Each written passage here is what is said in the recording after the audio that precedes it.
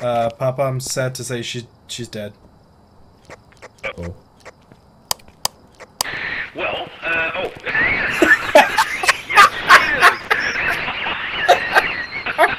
um, hang on. There we go.